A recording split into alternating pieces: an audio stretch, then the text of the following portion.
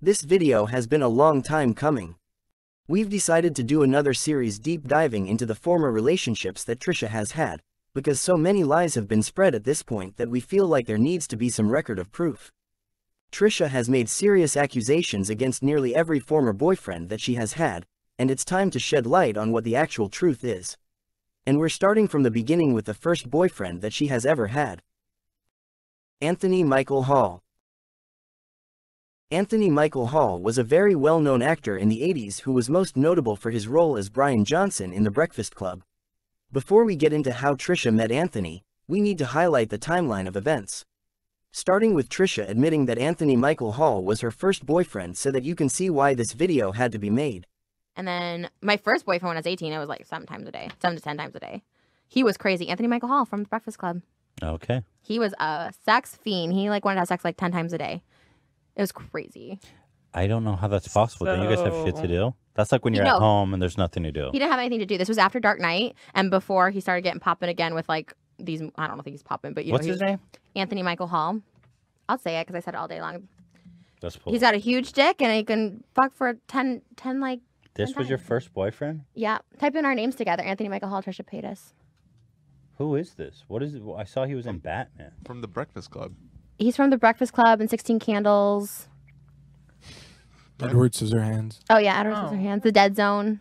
He doesn't do much now. There's does he? us. So there was me when I was 18. Or no, I was 19 there. Wow, he was a bit older, eh? He was 44? Oh my god. Was he doing penis injections? No, I, Man, he looks a little creepy. I'm not gonna lie. He looks like a Yeah. crusty old dude. he's a little creepy, but During her second visit on the H3 podcast, Trisha informs Ethan that her very first boyfriend was Anthony Michael Hall. And here's where it already gets foggy. She claims to have met and dated Anthony when she was 18 years old. This is information that she spread not only on the H3 podcast, but on her very own channel where she shared additional information about where she met her first boyfriend, Anthony, when she was 18. you know, my first boyfriend I met at a comic book convention that I was working at with sci-fi for the show I did called Who Wants to Be a Superhero. You know what you remind me of in, when you were younger? And I don't mean this in like a bad way because I thought he was super hot and he was my first boyfriend. yeah, Brad Pitt was my. No, did you ever see the movie The Breakfast Club? Of course. You remind me of um, Anthony Michael Hall in that movie. Oh, okay, so the door. Yeah, but I mean, Okay. hey babe, I, he was hung like a horse, so Oh, you could have left that out. Stuff I don't need to know. I'll make a list. and We'll put that at the top of it. I just I was trying to make you feel better, but I didn't. Rea- and Why would that make me feel better? because like yeah, okay, he was nerdy and maybe you didn't look super like you know you weren't Brad Pitt, but like Yeah, but he gave it to me every night with, a, with an eight-inch dong. It wasn't eight inches. It was like thirteen. But I've always liked older guys. Like my first boyfriend, boyfriend Anthony Michael Hall, was like forty-three, and I was eighteen when we dated. Now before we continue, we need to do a little math here. Trisha claims she dated Anthony when she was 18 years old. Trisha was born in May of 1988 which would make the year that she dated Anthony 2006. Now this is important because she mentions an actor that she dated in 2006 who abused her. It's during a frenemies vlog with Ethan when she brings up this actor taking her to a specific area of LA. Now, keep in mind, she already stated that Anthony was her first boyfriend at 18 years old. She states that this actor brought her to this specific area in 2006 when she was 16 years old. I used to come here in 2006, like way 25 years past its prime, when I dated, um, oh, I don't know, I guess I shouldn't say that name. Say it! There's, uh, I, no. but we used to go here and they were like 50 years old and they were still like doing drugs and shit like that. And they were like hooking up. This is when I was like 16 years old and people were like hooking up with me. It was kind of gross actually. It's a little dark. However, as we already calculated, Trisha was not 16 years old in 2006. Trisha would have been 18 years old, which matches up with the timeline of her saying that her first boyfriend was an actor that she dated in 2006. Making this man that she's talking about now Anthony Michael Hall. But here's where things get even more murky. Remember, Trisha told us that she met this actor at a convention. This convention was for a reality show that Trisha did back in the day titled, Who Wants to Be a Superhero? Where she appeared as the contestant Ms. Limelight.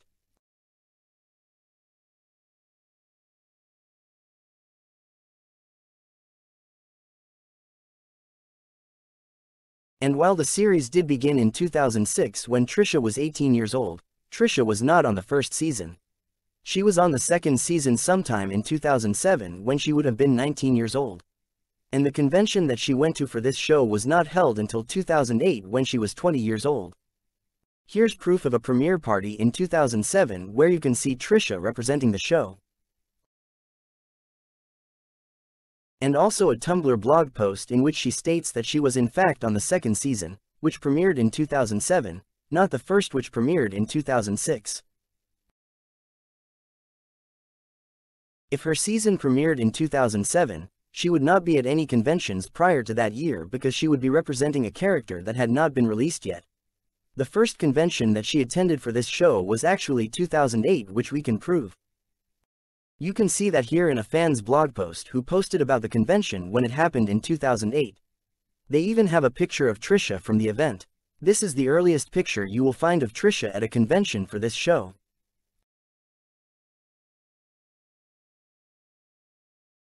As you can see, the date is May 22, 2008. Trisha was born on May 8, 1988 meaning that when this picture was taken she would have been 20 years old. She stated on her Tumblr that she did conventions for two years. And while she says that she was 18 while on the show, she was not 18 when she began traveling the convention scene. She started in 2008 when she was 20.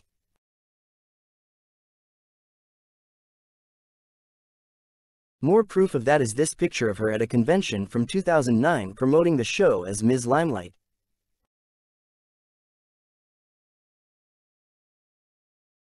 If she was 18 when she started doing the conventions, that would mean she would have done the conventions from 2006 to 2008 and no later.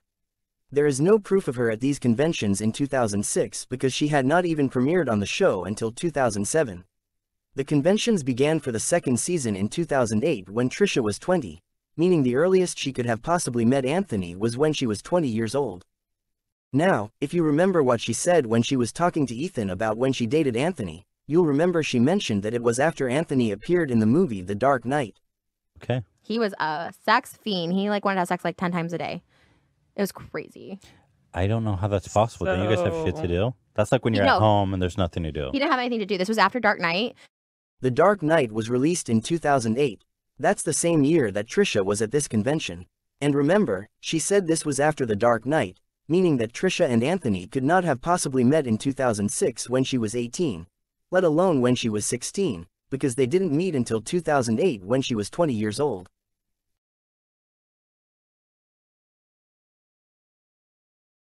Further proof of this can be found on her Twitter where she mentions dating Anthony for five years.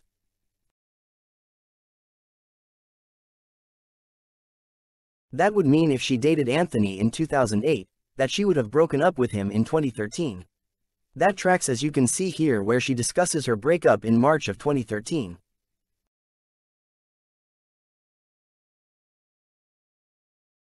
The reason we know this is Anthony that she's referring to is because she posted about being with him just a week prior.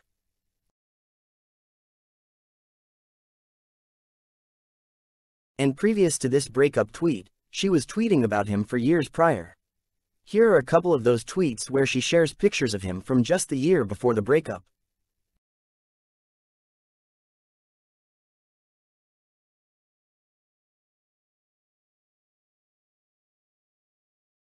If Trisha had dated Anthony in 2006 when she was 18, that means they would have broken up in 2011.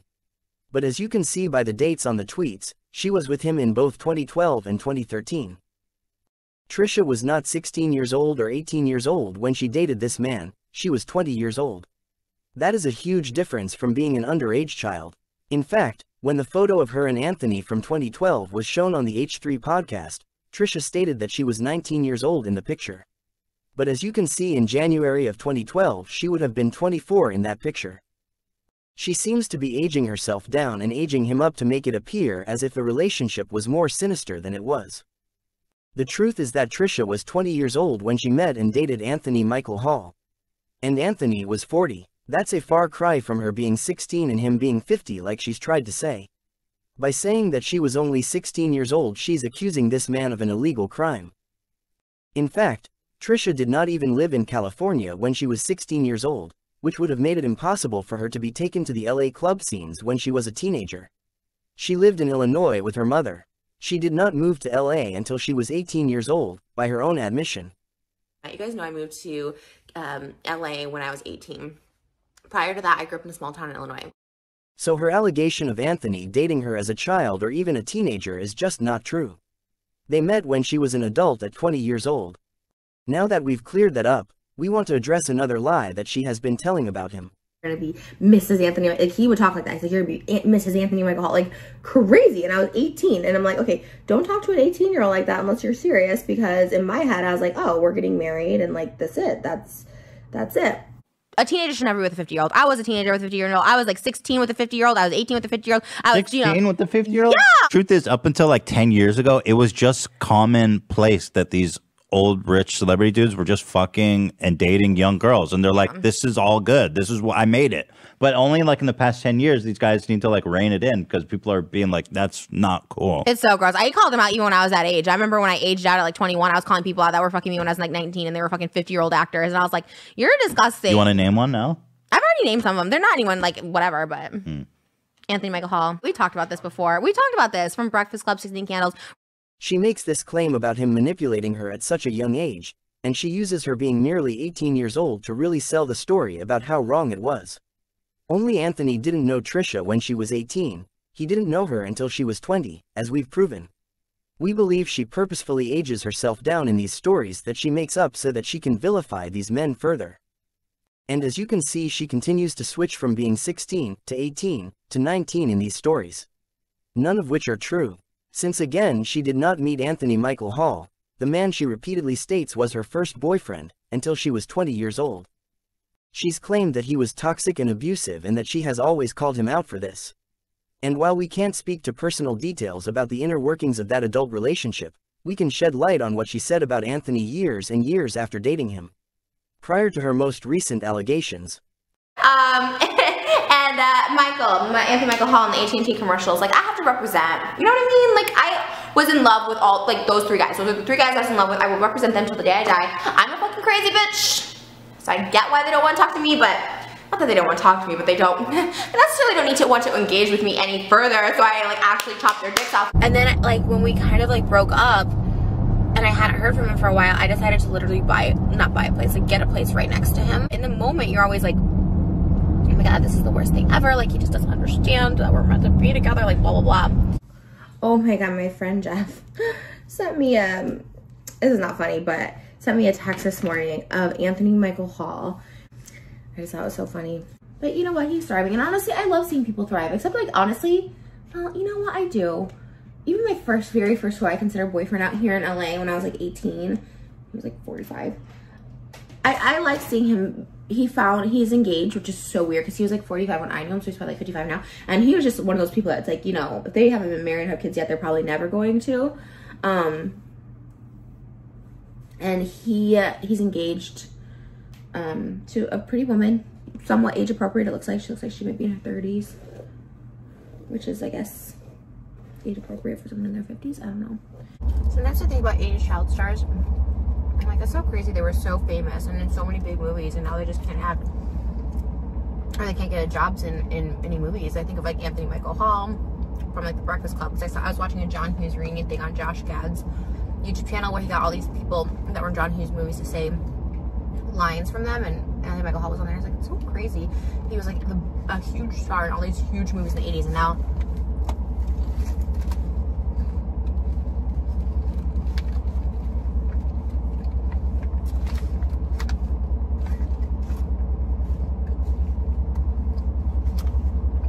act.